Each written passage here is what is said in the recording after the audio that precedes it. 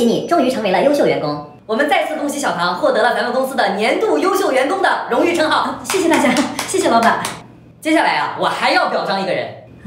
这个小唐啊，能成为如今这么优秀啊、专业过硬、任劳任怨、符合公司需求的员工，离不开这个人的教育和引导。我们欢迎小唐上学时的老师。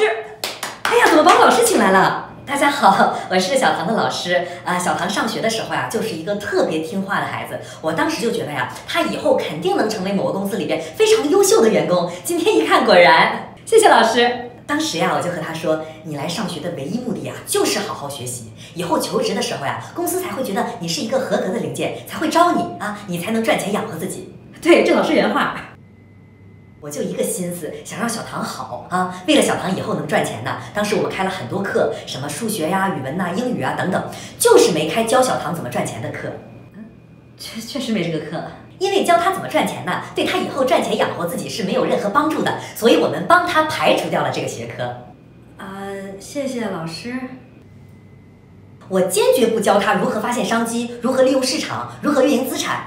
我甚至连如何对抗通胀我都不教他，以免他把心思啊都用在这些歪地方，不能成为一个好零件。嗯，谢谢你。呃，另外呀，我也没告诉他，就算你再努力的作为一个零件去赚钱，也远远赶不上少数人什么都不干，资本自动给他们赚的钱。只要他什么都不懂，就能沉下心来，一门心思的往成为一个好零件的目标努力。呃，除此之外啊，我还教了小唐很多优秀的品质，呃，比如遇到问题要先想自己有没有错误，比如乐于付出，做事不计较回报，呃，再比如学会吃苦啊、当然让他学的不是那种为自己争取利益过程中的苦，而是吃受人压榨、被人欺负的苦，这些呀都是小唐成为一个合格零件的必备品质。呃，今天是属于小唐的大日子哈。作为一个零件，他的努力工作除了给老板带来财富之外，更重要的是给他自己带来了荣誉。祝贺你，小唐！老师说的很好啊，我也代表公司对老师能教育出小唐这么优秀的员工进行表彰，同时也感谢老师啊，不断的为公司培养了一批又一批以成为合格零件为目标的员工。谢谢老师。这个小唐能这么优秀啊，除了老师的教育之外，还离不开接下来这个人的推动与鼓励。接下来有请小唐的妈妈。